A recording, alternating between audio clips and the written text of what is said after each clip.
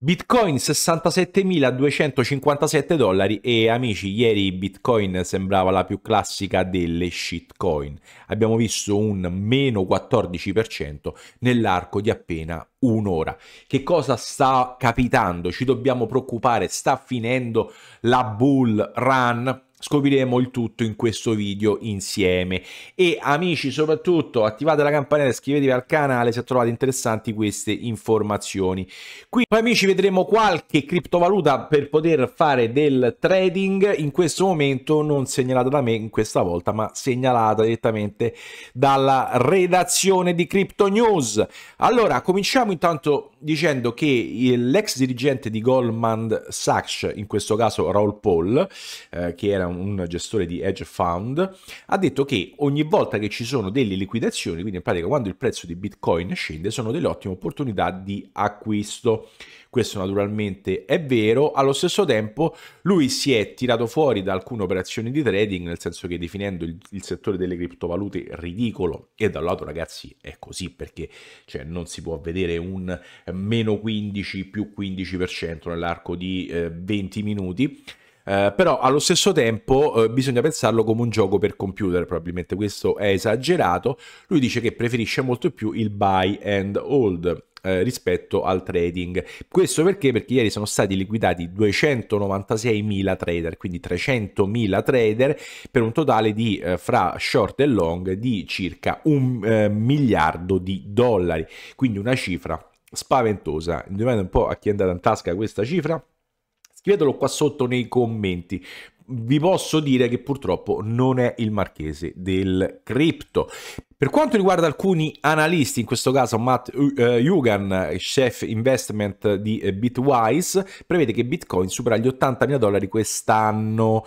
Eh, beh, amici, se, se, continua così, probabilmente supera anche i 150.000 oppure potrebbe arrivare a 20.000, visto insomma il comportamento che ha e se la gente non si calma un attimo, soprattutto con le meme coin, amici. Ma eh, cioè tutte le meme coin che pompano. Quando succede così, io eh, ve lo dissi, ve lo dico, ve lo dico costantemente, poi subito dopo c'è una correzione eh, di Bitcoin, un flash crash, insomma, quello che eh, c'è, questo purtroppo, ragazzi, è quando vediamo la gente che va in FOMO, poi ricordatevi sempre che probabilmente il migliore indicatore è proprio il fear and grid quando sta su uh, extreme uh, grid è il momento proprio in quel caso lì di chiudere le posizioni eh, le migliori criptovalute da acquistare in questo caso oggi 5 marzo uh, questa seconda di Joele Frank non sono miei consigli finanziari né di investimento Starknet, Theta e Optimism. Questo in virtù del fatto semplicemente a livello di grafico. Allora Starknet innanzitutto è cresciuto di oltre il 25% e va bene con una, con una capitalizzazione di mercato ancora modesta di poco più di 1.6 miliardi di dollari alla faccia se secondo lui è, è modesta potrebbe fare guadagni 5 per, non ha dimostrato ancora niente, Starknet mm, va bene.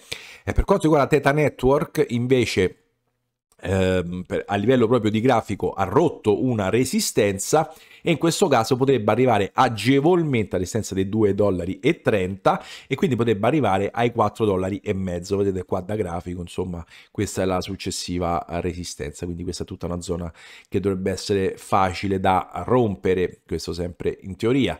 E l'altra criptovaluta che ci suggerisce in questo caso è Optimism.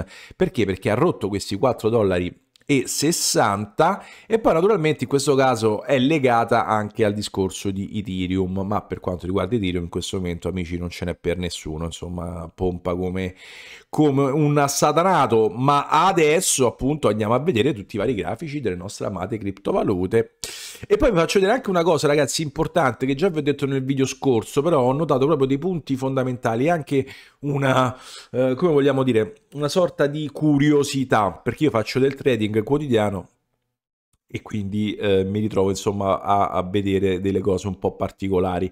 Allora, cominciamo innanzitutto con eh, CRO. Ragazzi, CRO qui ha avuto, oh, come detto, c'ha una forza in questo momento davvero eccezionale, e, tranne vabbè, la liquidazione di ieri, no? che, eh, che, che, dobbiamo fare? Questo è stata, non è stata colpa di CRO, del povero CRO, ma è stata colpa di Bitcoin. Ora in questo momento, ragazzi, qui abbiamo questa resistenza che qui è difficile. Io qua adesso, se non ce la facciamo subito a superare qua, eh, possiamo anche addirittura eh, riscendere fino a qua, fino a 0,11 prima di poter ripartire. Eh, tutto naturalmente dipenderà da alcune cose che poi dopo eh, andremo a vedere insieme. Poi andiamo a vedere adesso uh, Solana per quanto riguarda la nostra amica criptovaluta, ragazzi, qui in questo momento si trova ad aver mantenuto questo supporto, quindi in questo momento questo supporto sta tenendo benissimo, vedete qua la shadow è stata brillantemente riassorbita e adesso qui ci troviamo a dover superare questi nuovi massimi, però fondamentalmente non vedo difficoltà dato che siamo in uno spazio molto ristretto, non so se galleggeremo ancora un po' oppure romperemo subito oppure romperemo al ribasso se non dovesse resistere questa, eh, questo supporto ma in ogni caso eh, il movimento mi pare insomma un bel movimento bullish, mm, anche se forse pure un'altra cosa eh, del genere potrebbe non essere eh, tanto malvagia. Mm, vedremo un attimino. Adesso vediamo in questo caso Cardano.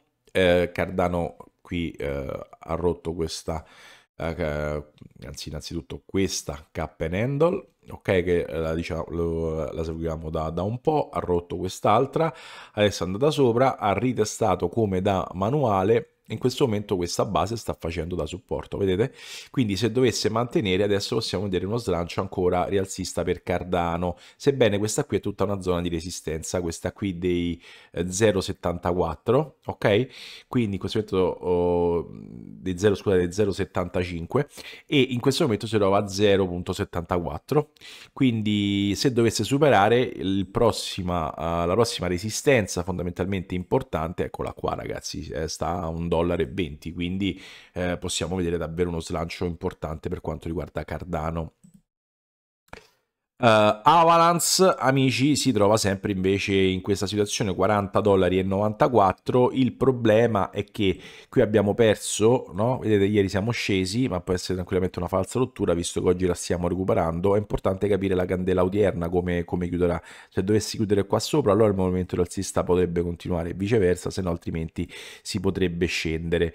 Eh, qui abbiamo anche questo no? come, come, triangolo, ok? Io poi qui in questi giorni, ragazzi, mi aspetto di tutti i colori, eh? quindi ve lo dico già, vi eh, avviso.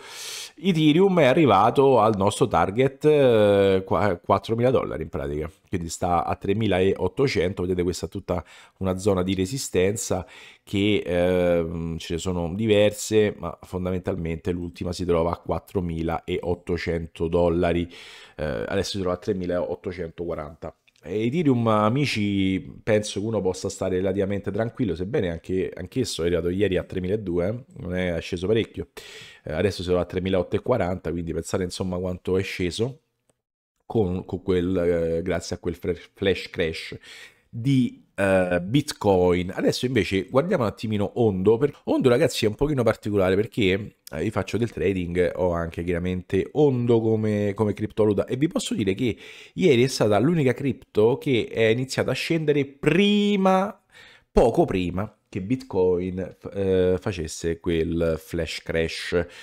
Um, è un po' particolare, no? Sappiamo che c'ha degli investimenti con BlackRock, cose varie.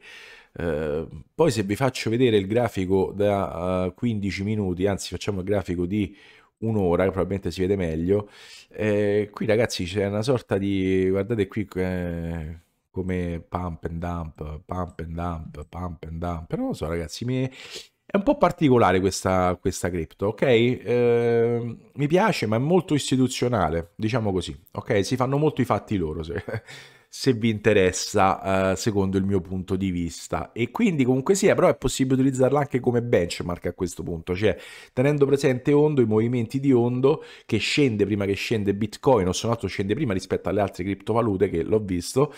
Eh, uno si può magari dare una regolata di eventuali e, e improvvisi flash crash Bene, Adesso uh, ogni tanto mi perdo qualche criptovaluta. EGLD, andiamo a vedere uh, EGLD come siamo messi. EGLD qui uh, ha, ha ritestato sotto, è riscesa a grazie a questo flash crash. Adesso ci troviamo in questa zona che dobbiamo ribucare per poter vedere una, una, ripartenza.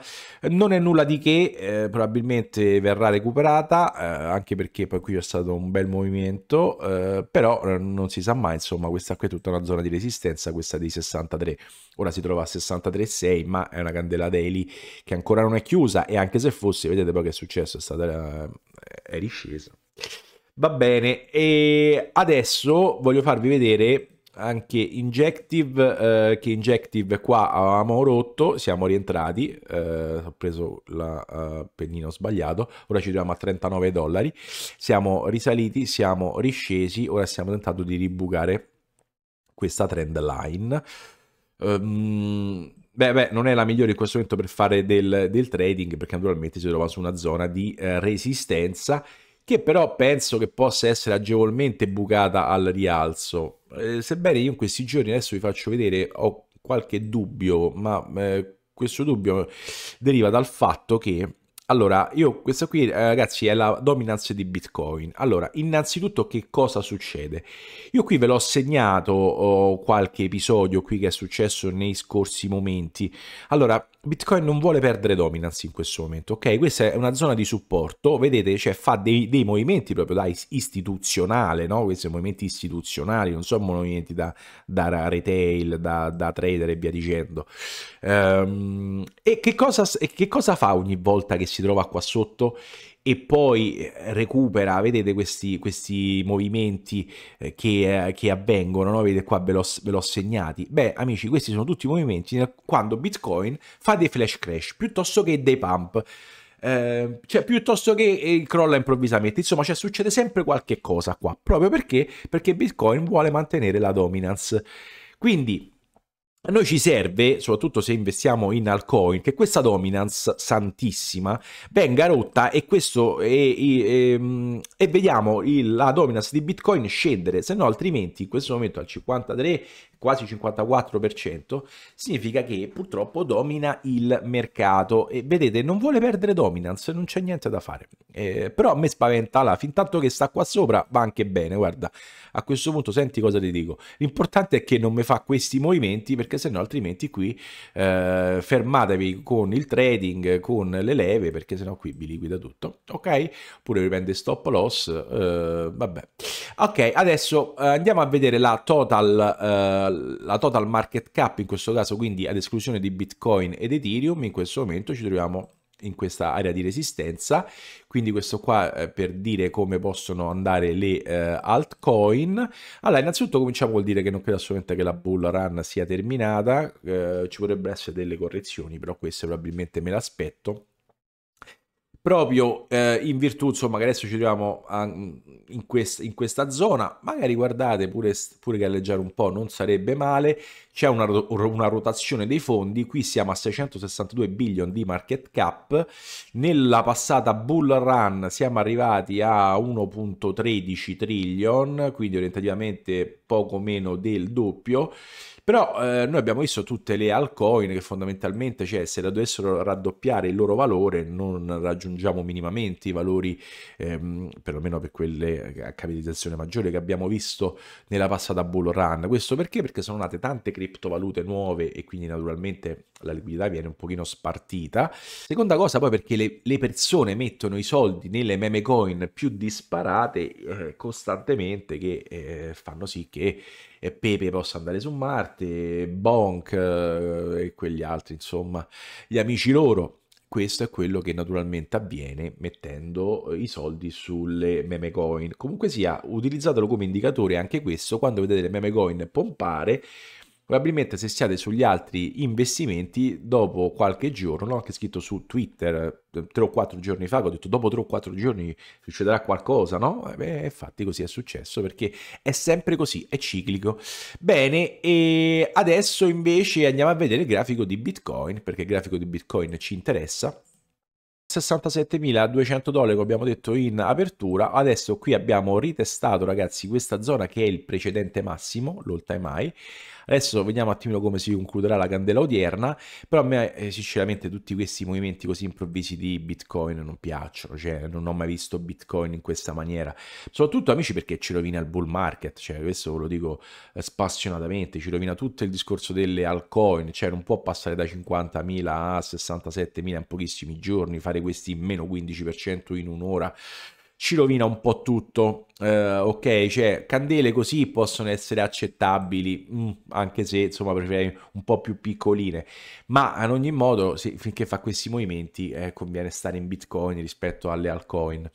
Ad ogni modo qui abbiamo ritestato i, i, i precedenti massimi, Ora adesso eh, si potrebbe configurare o una sorta di eh, galleggiamento in questa zona che me lo auguro amici con tutto il cuore, eh, se no altrimenti anche una discesa potrebbe non essere cosa uh, negativa, eh, perché fino ad arrivare insomma a questi 52 eh, potrebbe non essere assolutamente malvagio come situazione.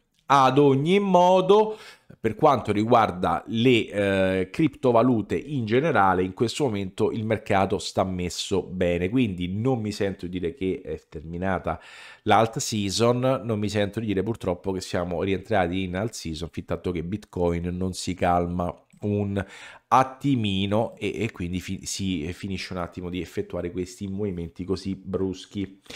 Bene amici, se avete trovato utili questi contenuti lasciatevi un bel like, iscrivetevi al canale, ci vediamo al prossimo video, ciao!